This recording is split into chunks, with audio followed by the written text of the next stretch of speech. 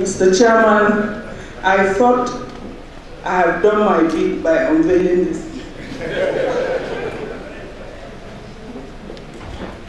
I am Chidima pick,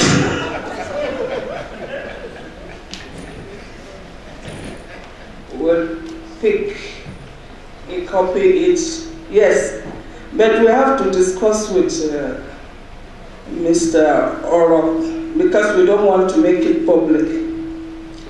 We are prominent politicians, me and Chilim. So Oro will discuss the figures later. Thank you, Mr. Chairman.